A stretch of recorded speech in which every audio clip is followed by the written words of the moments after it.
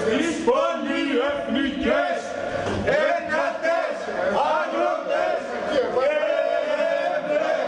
Την έντονη διαμαρτυρία τους για το βαρύ χαράτσι που έρχεται μέσω της ανακατανομής των ασφαλίστρων του ΕΛΓΑ εξέφρασαν σήμερα οι αγρότες αλλά και μέλη της Παναγροτικής Αγωνιστικής Εισπήρωση που συγκεντρώθηκαν στα γραφεία της Περιφερειακής Ενότητας Μεσσηνίας.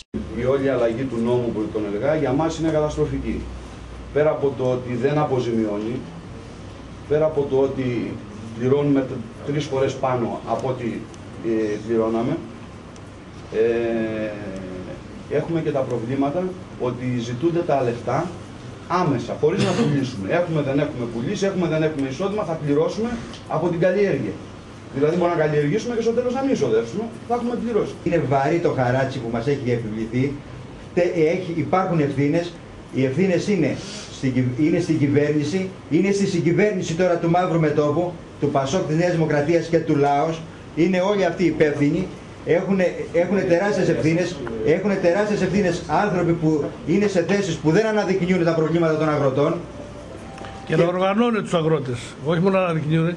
Οι αγρότες στην συνάντησή τους με τον Αντιπεριφερειάρχη Μεσσηνίας Παναγιώτη Ελευρά είχαν τη δυνατότητα να θέσουν τα προβλήματα που αντιμετωπίζουν με κυρίαρχο εκείνο της αλλαγής προς τα πάνω των ασφαλίστρων του ΕΛΓΑ. Μαρτυρόμαστε για το βαρύ χαράτσι για τα ασφάλιστρα του ΕΛΓΑ που επιβλήθηκε με το νέο νόμο που ψήφισε η κυβέρνηση του Πασόκ και ταυτόχρονα διεκδικούμε ΕΛΓΑ κρατικό φορέα με επαρκή κρατική χρηματοδότηση που θα καλύπτει την παραγωγή από όλους τους φυσικούς κινδύνους και θα αποζημιώνει στο 100% των ζημιών.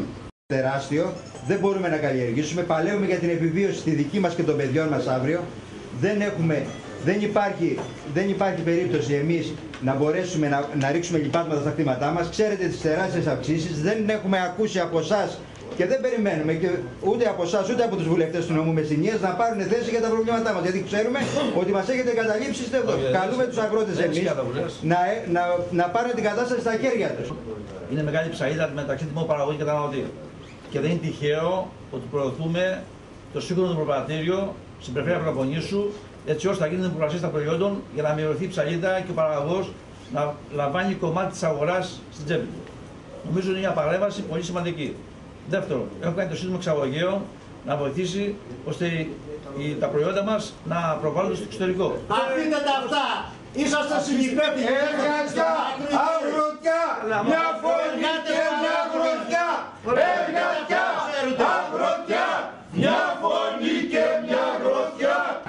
εξαφανιστεί τα ελληνικά προϊόντα των αγροτών από την, πα- από το, την αγορά. Εγώ που πάω στο σούπερ μάρκετ και ψωνίζω, όλο βλέπω φέτα, ε, ε, τυρί Ολλανδίας, τυρί Δανίας κλπ. Εσείς τι κάνατε όλα αυτά τα χρόνια με την πολιτική της κυβέρνησης των προηγούμενων κυβερνήσεων και των τωρινών κυβερνήσεων; Η λύτρωση για το λαό είναι μία.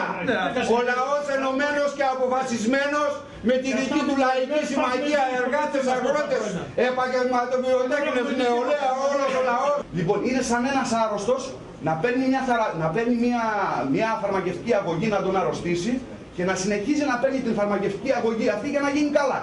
Δεν έχει λογική.